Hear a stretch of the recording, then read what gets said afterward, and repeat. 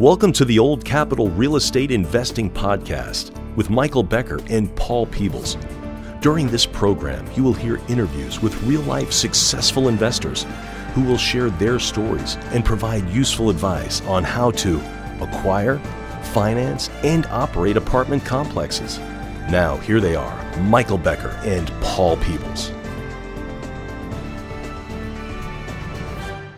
Welcome to the Old Capital Real Estate Investing Podcast. I'm your host, Paul Peebles, National Underwriter for Old Capital. And joining me today would be typically the governor of Beckerville, Mr. Michael Becker, but he is again on a due diligence assignment and could not join us. So we wish Michael and his group at SPI a lot of luck, and they're working on another transaction. That guy is the hardest working guy I know and does a great job.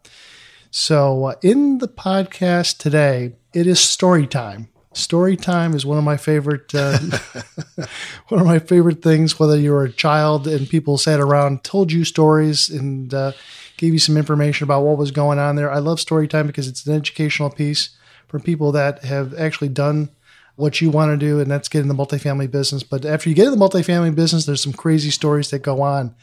So we're going to talk a little bit about story time, and we have uh, Darwin German. Darwin German, thank you for coming into the podcast today. We appreciate that. Thank you so much for having me, Paul. So Darwin has been on the podcast what about two years ago? About two years ago, maybe two two and a half years ago. He has some great words of wisdom, some great insight of some of the business that he has done in the past. Darwin, let me just kind of set the table for you, for him is that uh, he's been in the multifamily business, I'm going to say 20, 28 years. 28 years. And he has owned, him and his group have owned thousands of apartment buildings. And so when you own thousands of apartment buildings, you have thousands and thousands of tenants. And if you have thousands and thousands and, of tenants, you typically are going to have uh, a couple stories, a couple stories that give you some uh, information that you think could be pretty funny, or in this case, pretty useful. So we're going to talk a little bit about owning multifamily and having some opportunities to uh, tell some stories about what's going on. So we're going to tell fun, fun and interesting stories in multifamily. So Darwin, uh, thanks for being with us. We appreciate that. Again, if people don't know you, tell us a little bit about your background. Basically, I actually grew up in Southern California, and my dad and grandfather and great grandfather, they were all auto mechanics, but they always said, invest in real estate. And so they had houses, small apartment buildings, things like that. So as a young child, I would be woken up every morning on the weekends or in summertime every day to go do make readies on apartments or go do landscaping. I even roofed a building when I was 12 years old. Oh my God. So yeah, I've, I grew up in it, but really I count my experience at 28 years, starting in about 1990 when I actually got involved in real estate. So when you say you got involved here, you came from Southern California and you came to Texas to manage portfolios, manage buildings that your dad was buying and the, the team was buying. So, talk a little bit about uh, getting into ownership. Well, first, backing up, I was extremely fortunate that my father was involved in real estate. So, I learned about it. And he had a client that came into some money and said, Hey, we want to invest that. Where's the best place to go? And my dad said, Dallas, Fort Worth. And they basically said, Okay, here's $20 million. Go invest it. Oh, you're doing really good. Here's another 20 million. Oh, you're doing really great. Here's another 20 million. You're doing it great. Here's another 20 million. So 120 million dollars and five years later, we bought over 5,000 units, most of them in Dallas Fort Worth. Well, at the beginning stages of that, I actually moved to Texas to go ahead and, and be part of that team, the boots on the ground here in Texas to be involved with due diligence and management and really cutting my teeth on that portfolio. So let's kind of fast forward to story time. I love okay. I love story time. So we're going to tell. Uh, I want to have you kind of expand on some some different topics. And what we have done is I've kind of created a list of uh, a bunch of stuff, and I'm going to have Darwin tell us a little bit about uh, what he remembers of that. So the first one up is property on the news. What that oh, mean? that was a lot of fun. Uh, not only have we had over 7,000 apartment units, but we've also had 300,000 square feet of commercial properties. And one of those, I get a call one day and said, Hey, I think your property's on the news. And I said, Oh, no, not possible. Turn on the news, and there's a scene being filmed from a helicopter with a building that's on fire. And yes, it is my building. So Not too strange to have a fire, but when I started reading the script and hearing what they were talking about, they said, Property's on fire, cyanide gas leaking out of the building, the city is evacuated. So Oh that, my gosh. that makes you a little bit concerned then of what's going to happen. Was it an apartment building or was it? Uh, This was actually a commercial property, one of the commercial properties I Have, had. have you had fires on your buildings? You know, whether it's caused by the tenants or whatever. Have you had fires in your properties? Oh, at least one a year. So not that we like fires on buildings, but tell me a little bit about the benefit of having a fire on a building. It's funny. A lot of investors say, well, you know, they think about all these worries. What if there's a fire? Well, the beautiful thing is actually we have plenty of insurance to go ahead and cover that fire and we get a brand new building out of it that we usually get additional rent for. Plus on that building, we get higher rents and they pay the rents while it's being rebuilt. On one particular property, we had a fire on a building. Well, we only paid $30,000 a door for it. Well, to rebuild it at that time, it was over $80,000 a door. So we basically sold that building to the insurance company. They gave us the $80,000 and we sold our $30,000 a unit property for $80,000 a door on that one building and then turned it into a park.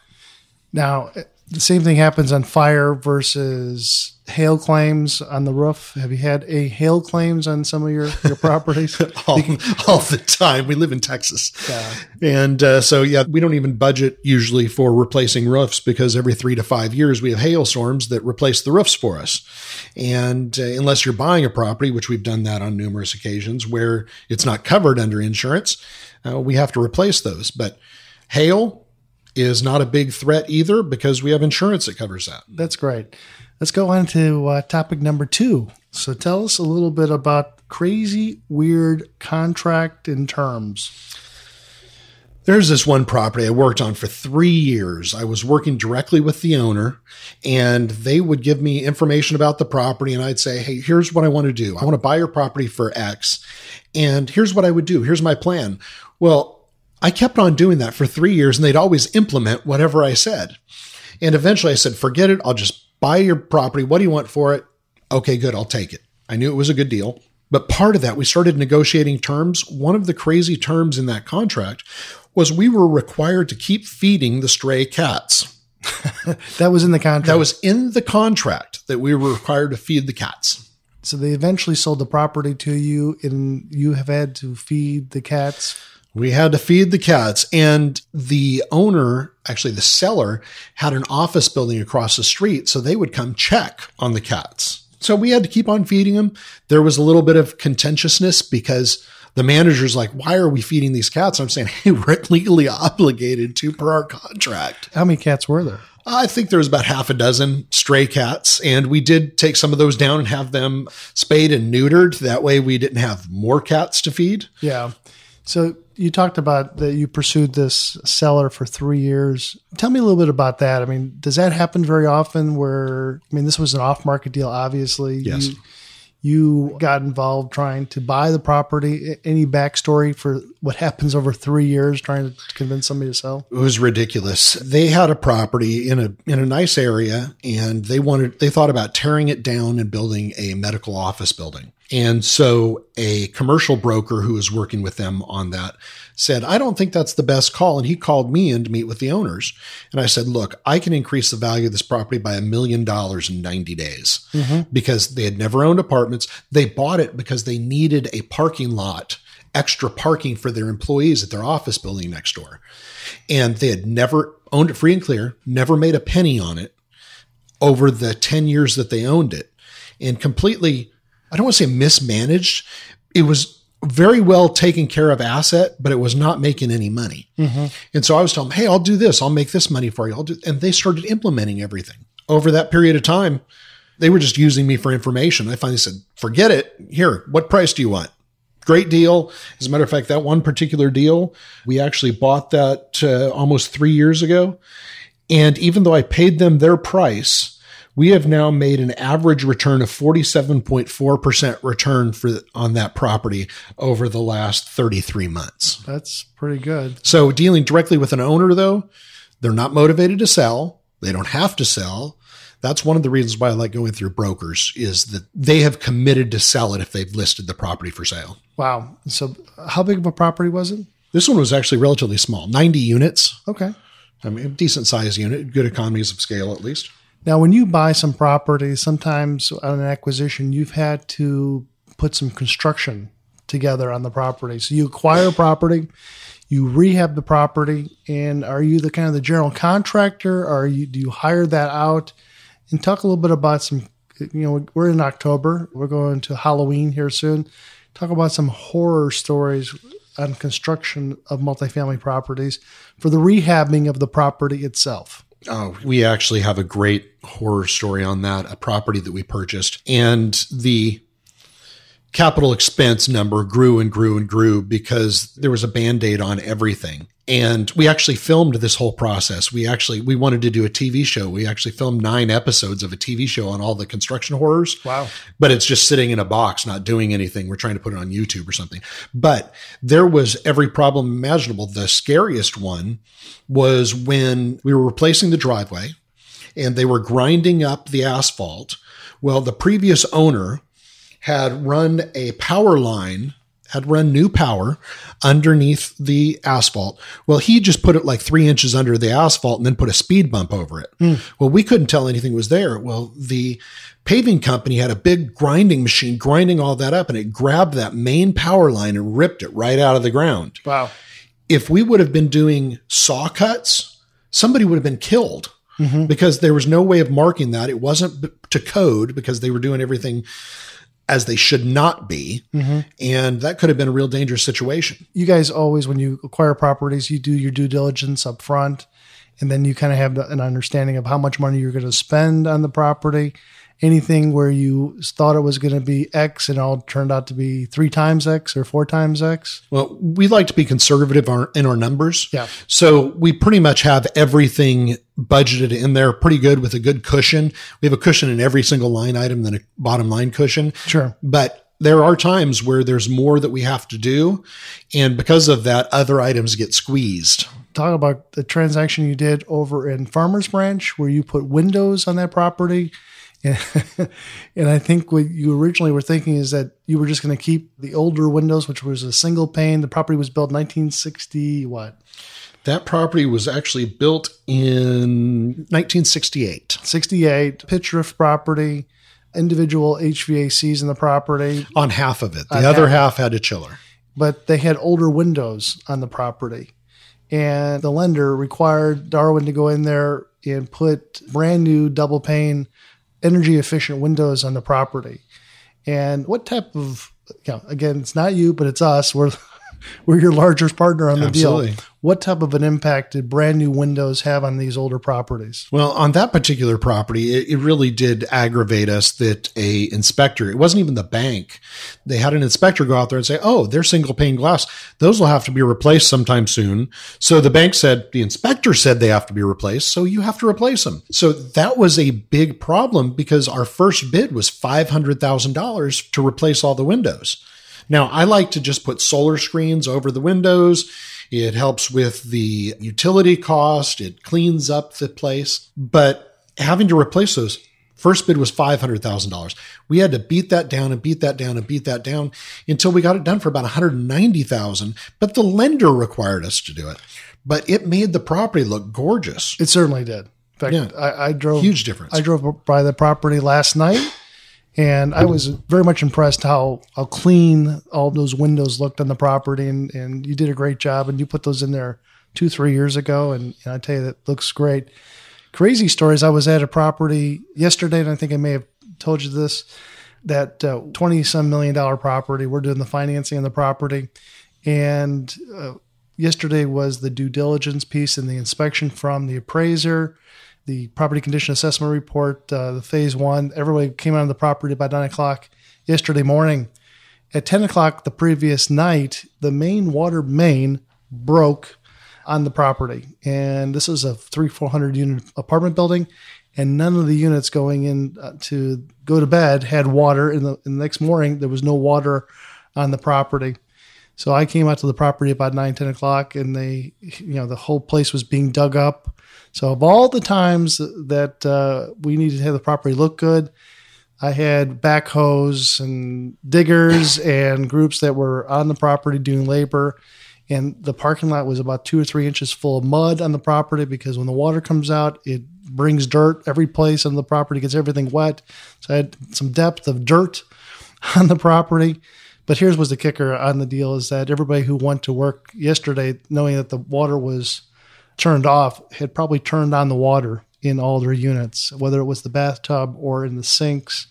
Some of them had put stoppers on there. Just they forgot they were. You know, sometimes they do the dishes and they put stoppers in there, and they turn on the water. Well, as you can imagine, when the water turned back on after they had gone to work, water turns on, Floods galore. floods galore. So on, on the day that I have my appraiser at the property, I got water coming on on some of the units. And it didn't happen on all the units, but it happened on a couple of units that uh, now I'm I have big water stains on the top of the ceilings and bottom of the floors with wet carpets and things like that. So And it's raining in the downstairs units.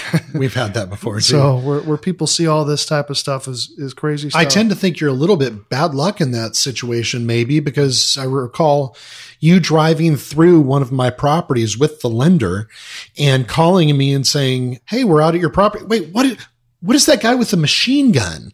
What's going on there? There's tell that story. so we were out uh, you know when we make you a loan we we tend to also go take a look at the property after the loan's closed whether it's six months or a year. You know uh, fannie mae has inspectors come out to the property but i was with one of the fannie mae inspectors. I was driving the property in my private car at, of one of darwin's properties over to arlington texas. We go onto the property. We're just driving through the parking lot very slowly. All of a sudden i see a guy in a swat gear and with a helmet on, with an AR-15, and he's just walking down kind of the driveway, and I'm like, "What the hell is that? What is this guy walking with an AR-15?" And then you know, I gave him the tip of the cap. I said, "Hey, all right." I said hello, and I kept on driving. All of a sudden, I turned the corner, and there's not just one SWAT team. There's like six or seven SWAT team members, all with AR-15s, pointing to a bunch of guys that are on, the ground with their hands behind the back. So I'm like, uh, I can't have another a bad time where I have the Fannie Mae taking a look, look at the property. So the Fannie Mae just said, you know, we understand, but you know, tell us a little bit about what the background is and and what was the background on that. Well, the background of that, there was a gentleman that went into a bar, got in a fight, shot up the bar, and left, and they were trying to find him.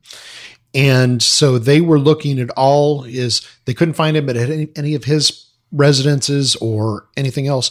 So they started looking at his friends. Well, apparently one of his friends lived at the property and they found him there. And that particular property, and you have this, I, don't want to make it sound like all my properties are crap. Um, but, uh, you know, this one we had to clean up the purple Martians. Yeah. And that guy's friend was a purple Martian. So we had to clean up that property and get rid of those bad residents that had, it wasn't really the residents because we do proper screening. It's the friends of the residents Yeah. that we had to keep an eye on. And, and we've gone through that process and cleaned it all up. Yeah, when you have thousands of units, just like Darwin has had in the past and has right now, is that you're going to have crazy stories, and that's that's why I love story time. Talk about um, a property that, that was in a flood zone and the property that you were thinking about buying. Oh, wow. Man, th- that's a whole mess. We put a property under contract and it was in a flood zone. Well, ironically enough, I had purchased it about four years, five years prior, sold it to somebody else. They ran it and there was an opportunity to go back and rebuy it. Well, as soon as I put it under contract, the seller fired the maintenance guys. So no more maintenance was getting done, no more make readies. The leasing agents weren't doing any leasing. All activity on the property stopped so that he can save money. Well, we started going through the process and said, oh, wait a minute, there's an insurance claim on this roof that we should file. Well, the adjuster went out there and said, oh, you've got a million dollar claim here on your roof. And so the seller said, wait a minute, I want a piece of that. I don't want to do that claim and not get a piece of it. So then we had to re- negotiate with him for a, a protracted amount of time. And again, during that time, no maintenance, no make ready, no leasing. And go through that whole process, have to negotiate with him that he would get a piece of the insurance proceeds, et cetera. And come to find out as we get through that whole process that he had a $250,000 deductible. So it wasn't going to make any sense anyway. So we went through that exercise for nothing. And during that time, identified that there was another insurance claim that he was supposed to do the work on that he went ahead and pocketed the money and didn't do the work on. Oh boy. So we had to wait for that work to get done. And so he had to go through, finish that work, get it approved by the city, get it approved by the insurance company before we could move on.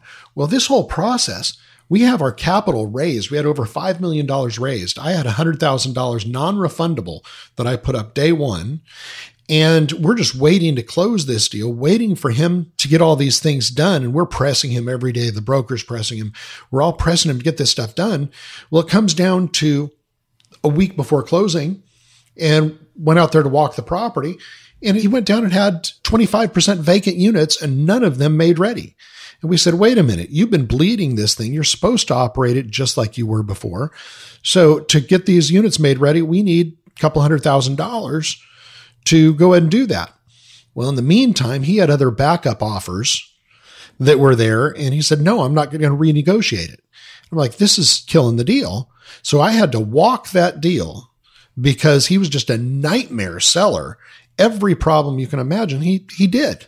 Is there anything that up front, is there anything we can put in contracts or is there anything that we could have done differently? There is in the contract that they need to operate the property in the same conditions that they've been operating it. And quite honestly, there's a lot of sellers that don't. Mm-hmm. There's a lot of I don't want to say greedy, but they definitely watch their nickels. And if it's under contract, they tend to slow everything down. So we try and get deals done as soon as possible. The problem with this one, it wouldn't have been a big problem, but it took them six months to clean everything up. So we do have items in the contract to protect us, but going through a lawsuit and going through doing all that was just not worth it. So my investors didn't lose a penny, but I did. And it's sometimes you make more money on the deals you lose than the deals that you get. Yeah, absolutely on that one. Credible buyer needed. What does that mean? Oh, well, th- this one was a little while ago. This wasn't in the last three years. This is about four or five years ago. And a property, this was 52 units in Fort Worth, mm-hmm. and it was bank owned. Okay. And it had been under contract three times. And the broker was starting to lose all credibility with the seller. And he said, I just need somebody who's a credible buyer on this thing. Okay. I walk in, it's a courtyard style. I walk into the middle of the courtyard and you can look through the windows on the second floor and see through the roof. Holy cow. Okay. It was in bad, bad shape. There was a chiller system that wasn't working. Most of the units were vacant. Mm-hmm. And it was just a horrible property. But I see such opportunity in things like that. Mm-hmm that I made him an offer and I went ahead and, and convinced the broker who had done business with that, hey, I'm going to close on this no matter what. And that's one of the good things we've eh, actually, it reminds me of another deal that I'm going to close and I'm going to do what I say I'm going to do. So he knew that. So went to bat for me and I put it under contract and closed it. He just needed to have somebody that for sure would get the deal done. So you were the man that was able to close the transaction. Yeah. And that's just like Park Row. Tell us a little bit about that one. Park Row, unfortunately, Park Row Apartments. Park Row Apartment. How many units on that? Park Row Apartments, 205 units. 205 doors. We put it under contract. Okay. And the seller had negotiated something with his lender and he had to get it closed by a certain date. Okay. And I got in there and we had an asset manager there that wanted to use a different lender. And this other lender, which I wasn't going through Paul at that time, huge mistake. And put it under contract, went through due diligence, raised the money. We're ready to go on this whole thing. And their non recourse note had so many carve outs that they even had waiver of homestead rights. They had everything to, they said non recourse, but then they put everything as a bad boy provision. So tell us a little bit about non recourse, bad boy, and waiver of homestead rights. What, what does that mean? Basically, a non recourse loan which I'm sure you've explained this a hundred times, means that there's not personal liability on that loan. If you have a problem with it and you're doing everything you're supposed to, you can just give that property back and not owe the bank anything else. However, the bank has bad boy provisions saying, hey, we're not going to take this back if you were a bad boy, meaning you had fraud, you had theft, mm-hmm. you had to fight over it. There's right. there's a hundred different things, and those are bad boy provisions. But this particular lender put every single thing in there that made everything recourse. So even though it was by name non recourse, they turned around and made it recourse. And on the waiver of homestead rights in Texas, we've got this great thing, this homestead law that protects your home so that lenders cannot go after your primary residence. Well, it's against state law to even waive, you cannot waive your homestead right. But this New York law firm that put together the loan documents said, hey, we're putting everything in there just in case in the future we can go after your homestead if you default. We want to have that in there. They also had, if they sell the note and that new note owner loses any money because interest rates go up or anything else, that we're liable for that too. They had everything in there. And we spent a month negotiating these. I spent $50,000 on legal fees negotiating that note. And when finally, a week before closing, they pulled the loan, they said, nope, we're not going to give you the loan. It's a week before closing. And so, so I started to freak out a little bit. So what did you do? I called Superman, Paul Peebles, I don't know about and that. I said, I've got this problem. They just pulled this loan and I've got to close on this. I said I would close next week. So we actually arranged, Paul arranged for me a, basically a hard money loan to get that closed in a week. So we got a $5 million loan in a week to get that closed so that I could perform. Now, the numbers made sense. We could afford to do it. Things got adjusted, but rather than losing the deal, we turned it into a home run anyway. And that particular property is under contract. And in the 46 months that we've owned it, that one's earned 53.3% per year on average. Again, any numbers that we're saying here, past performance is no indication. No guarantee. No, this is just a historical and no guarantee of future. So what happened in that transaction is that we came in, we did a hard money loan, and we don't do a lot of hard money loans, but in this case, we had to do it because we had to save the transaction, make sure the deal closed. Everybody did not lose money. There was hard money that was in, in the deal. The seller wanted to make sure that the, the deal closed, and the biggest thing was reputation risk. We didn't want to have Darwin suffer reputation risk of just stepping up to the plate, getting up there, and not being able to close that would have hurt him in the long run on these transactions. And so we got the hard money loan, got it closed. You were in that hard money loan for how long? We actually took it out a year so that we could refinance it and do a cash out refi. so 12 months and five days later, we refinanced, you refinanced us into uh, agency debt. So, and then you pulled cash out and you got most of the money that people had put into the deal. Yeah, we that's our business model is the five R's. We recapitalize, rehab, reposition, refinance, and repeat. Well, we budget a three year refinance. However, in this one, 12 months and five days later, we refinanced, and I think it was about 60% of our original cash to our investors back, and that's refinance dollars, which are tax free. So in a year, our investors got about half their money back tax free. That wasn't too bad. Talk about becoming the mayor's best friend. What do you mean by that? Oh, well, we've had three different properties that basically, when we bought them, they were the worst properties in the city. And our business model is a little different. We hold for long term cash flow. And over the last 28 years, have been through a lot of market cycles. So we understand how to ride those up and down. And rather than try and do hit and runs, mm-hmm. we hold for long term. So we do our construction correctly. We don't slap lipstick on a pig. We do everything right. Well, the cities are loving us because we go in there and fix it up to a good quality and then we hold on to it long term so they know we're not just flipping it to somebody else. And in three different occasions, we bought the worst property in the city and turned those around. And now the cities are actually bringing people when they're promoting their city, they're bringing people to our property and say, look what we're doing in our city. Even though it's us doing it and how to fight with the cities at times to, to get the stuff done, they're now touting it as how great they are. But we turn these around, get rid of the purple Martians, lower the amount of calls for police, for fire, for any city services. We lower their costs. We do better resident screening so that we have good quality residents in there. So crime's lower. And because we're holding long term, we have a long term vision for that property that we're not doing things that are going to hurt us in Talk- that long term. Yeah, talk a little bit about yeah, drug dealers in the front of the property. What does that mean? like I said, we're only picking out the you know over seven thousand units. Every once in a while, you have something crazy come up. We had one unit that was busted because they were selling drugs out of the front, but they were also filming porn in the bedrooms in the back. You're kidding me. So people rent these things for all sorts of nefarious reasons, and they get somebody to go in there and pass the background check, and then they go in there. So we have to go in and shut it down, and uh, and sometimes we go through the legal process, but in some occasions we have to do other things as far as killing the traffic. That reminds me of the first property I bought.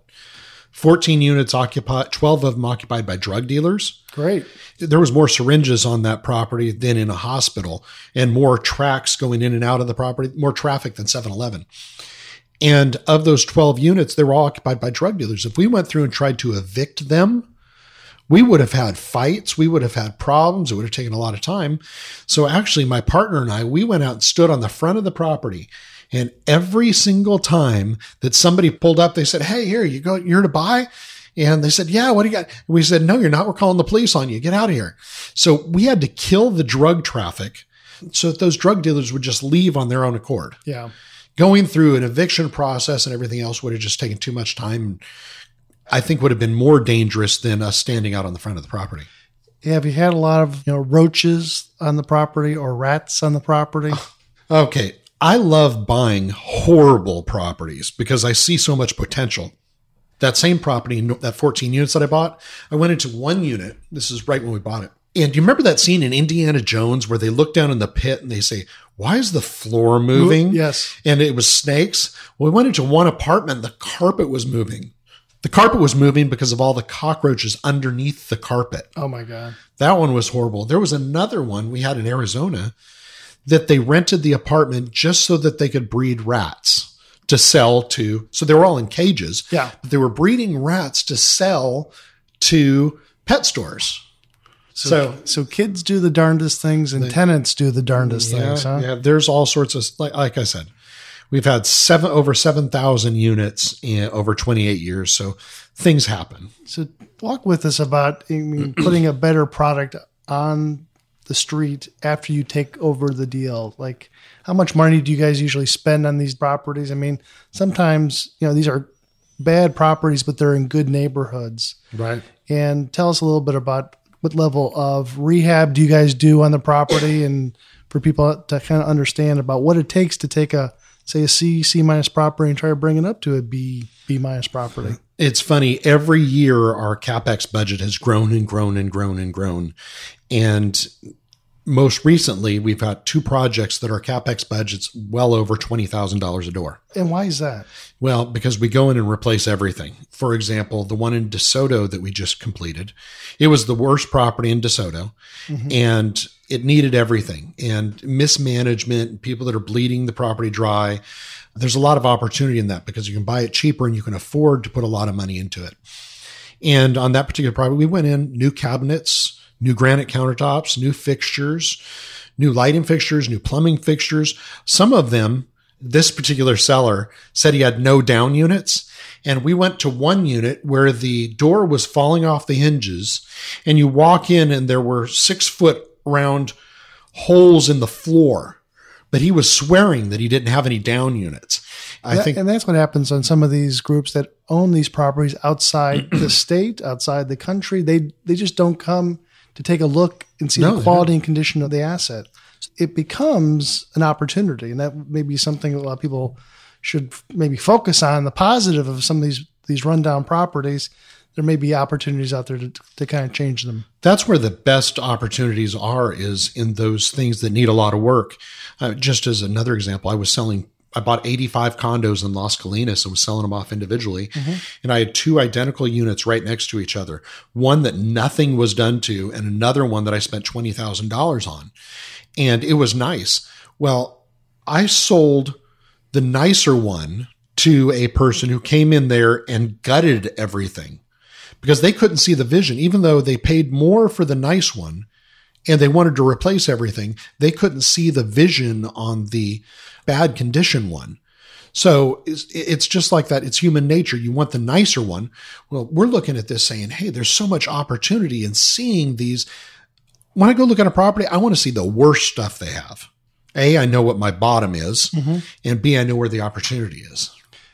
This business can be tough where people that are just coming into the business and they are looking for equity to kind of to for people to put money into their transactions, whether it's individuals or family offices. I mean, you've done this for a long period of time. How do you talk to folks about putting or investing money into some of your deals? Again, we're not soliciting for business. We're No, just kind of giving, just, Just giving an idea of what we do. yeah. Actually, thank you for the segue.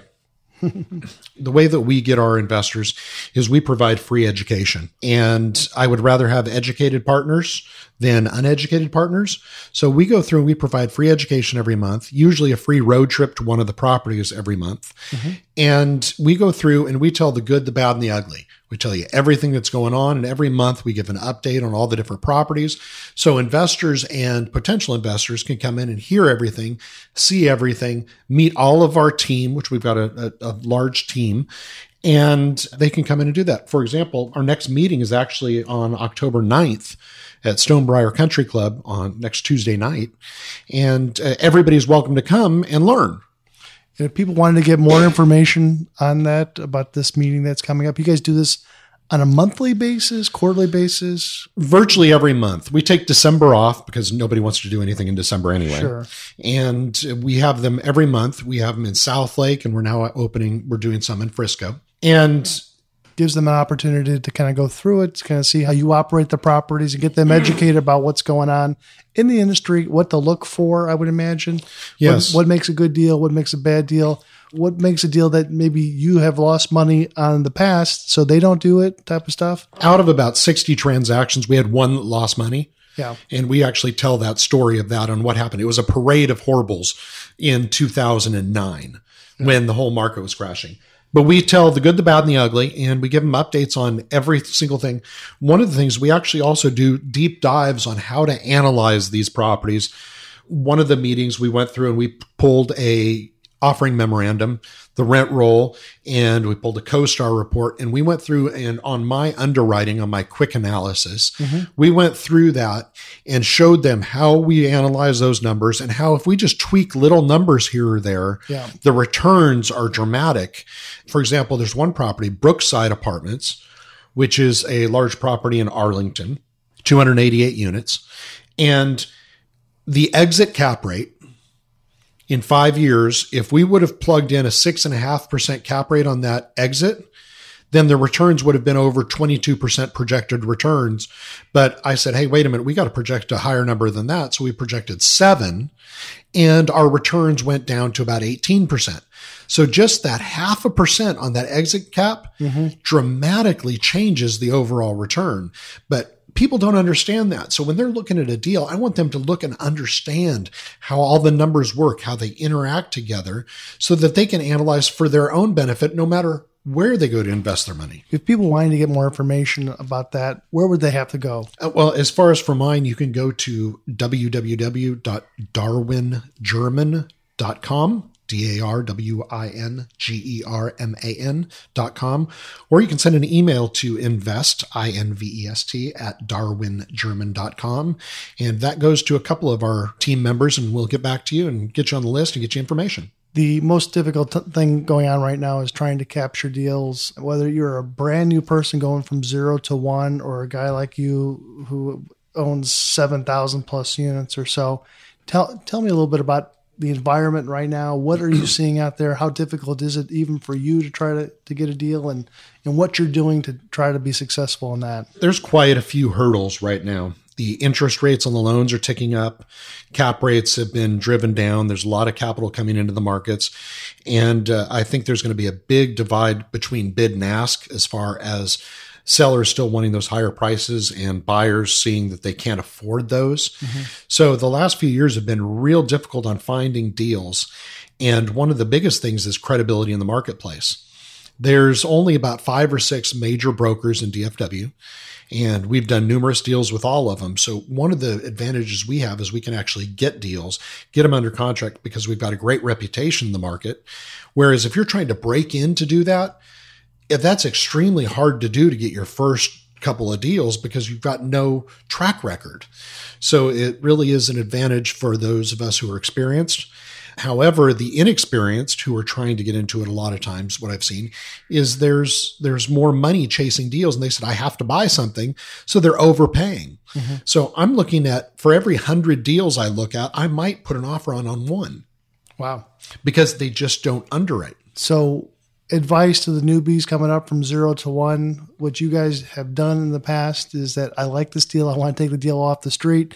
Here's a half a million dollars hard on day one. Mm-hmm. You like it that much? I'm committed to the doing the deal and I won't retrade you after we sign the PSA. Talk a little bit about some of that. Well, that's going to happen. You're going to have to put up hard money day one Sometimes you're going to have to pass that through, meaning that it doesn't sit at the title company. It goes directly to the seller. So they know that you can't get it back no matter what you do. And that also means you're not going to retrade a deal. So you can't go in there with the idea that I'm going to put it under contract and try and renegotiate it. That's in a marketplace that does not happen right now. Most of the time, we don't even have financing contingencies in our deals because we know we can get the debt and we underwrite them and and are experienced. If you're new at trying to do this, breaking in, like I said, is real tough. You're going to have to put up hard money, non refundable day one.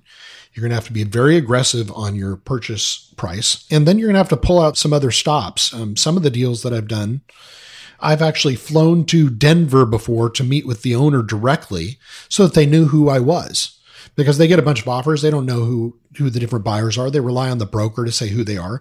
Well, if you don't have that track record with the brokers, you got to do something to get their attention. The hard earnest money day one, which a lot of 1031 buyers that have to place capital, they're willing to put a whole lot more money down non-refundable. You've got to figure out some way to stand out to make sure that you can get the deal. And it, it's tough. And I think that a lot of people are actually going to get hurt because of the prices of some of these deals and how thin they're underwriting them. Would you recommend some back channeling relationships? Definitely back channeling. What does that mean? What does that mean? What does that mean? That means using, again, every advantage you can. For example, I lean heavily on Paul. Actually, Paul knows everybody in the industry, knows every deal. I'll call him on a property and he'll tell me the whole backstory of what's going on, who the owner is. And sometimes he even says, Well, I know that owner. I'll go ahead and get some information or I'll put in a good word for you. Things like that that help. And uh, he's the master at doing that. And uh, if you have a broker that'll allow you to talk or meet directly with the seller, which is how I got one deal is like I said, I flew to Denver just to meet with him so that he could know who I was, look me in the eye, shake my hand, and know I'm going to do what I'm going to do. Is there anything that you would have done differently in the last three or four years, or has everything gone pretty well for buying apartment buildings? Hindsight is always 2020. Mm-hmm. If I could go back in time, I wouldn't care what the returns were on the properties. I'd buy everything I get my hands on. Mm-hmm. So this is advice from somebody who's been through numerous market cycles. Right now, we're buying for cash flow. We are having forced appreciation, knowing that we're buying things that are undervalued as far as the rents, knowing that we can go in there and increase the value by increasing the rents. However, the underwriting on that has got to be very conservative. And there are people that are going to be way more aggressive. So it's okay not to get deals right now. Preserve some of your capital still do things. You need to be more of a sniper right now. Back in 2012, 13, 14, 15, it didn't matter what you bought. And I look back at a lot of deals that I passed on because they did not make sense right then. Deals you could have bought at $16 million and now they're at $30 million? Well, there is one that I looked at day before yesterday and I looked at this property and it was a horrible, horrible property. Decent location, but a horrible property. And I actually look, went back and looked up. They wanted $10 million for it at the time. And I thought this, there's no way. And somebody ended up paying $10 million for it. They probably put $3 million into it. And now they've got it on the market for $28 million and huge fortune being made. But it didn't make sense for me right then because we didn't know about the stratospheric rise in rental rates and the extreme drop in the cap rates, which caused these values just to go through the roof. And every real estate investor who's been through cycles like this, they all say, please just give me one more down market. I won't waste it. I promise. and, uh, and that's pretty much what it is in those down markets. You got to buy and say, you know what? I don't care if I'm only getting a two or three or 4% return. We're buying way under value. It's discounted. We'll buy it now and ride it out and make money in the long term. Sounds great. Well, I love story time. I love spending some time with Darwin and, and kind of listening and, and, capturing some of his his stories. If somebody wanted to kind of build a relationship with you, know a little bit more about what uh, the Darwin German group does, again, what's the best way of them kind of reaching out to you? Absolutely. The best way is if you send an email to invest at darwingerman.com, then that goes to Jeremy Wolcott, who meets with every potential partner and goes through to see what they want to do and develop that relationship. It also goes to me if there's any direct questions for me that I can reply to. And I love helping people out. I love giving advice, and that's why I do it for free. And you can come to monthly meetings that uh, that we have. And even if you just send it like for example, if you're out of state and you can't come to a meeting, you send us that email, we'll put you on our email list and generally we put that whole meeting into an email and send it out to you so that you can participate and see what's going on no matter where you are in the country and get that same information. Sounds great. Uh, Darwin, thanks for spending some time with us. Some great stories and story time of multifamily. I've definitely enjoyed it. A couple things. One, don't forget to go to the Old Capital Podcast website, Old Capital Podcast website, and download the 17 page white paper report on multifamily financing. You really would like that. Gives you kind of a backstory of how these deals get put together. Uh, number two, empowering women in real estate. Empowering women in real estate, October 25th up in Northern California in San Mateo, right outside San Francisco Airport. Brad Sumrok, JC Castillo, and myself with Kathy Fettke are going to be doing Empowering Women in Real Estate. We'd love to see you out there. Again, go to the Old Capital Podcast website and uh, go check in RSVP for that event. If you're up in the Northern California area, we'd love to see you get a chance to uh, build a relationship with you and give you some insight about what's going on. Definitely. So if you have a daughter, granddaughter, a wife, or somebody wants to learn a little bit more about multifamily, that's the place to go just to get some insight. Third thing is that if you do like our podcast, please uh, give us a, a, good rating on iTunes or Stitcher. So every thumbs up or like does help us. We appreciate that. Again, we do this information just for you to give you kind of an idea what's going on in the marketplace. Again, we miss Michael Becker. He wasn't able to attend today. Darwin German, thanks for coming in, sitting in on his behalf. Again, I'm Paul Peebles. Have a great day. Thanks for listening to the Old Capital Real Estate Investing Podcast. Please join us at oldcapitalpodcast.com to sign up for our weekly email updates. We'll see you next week for another great interview.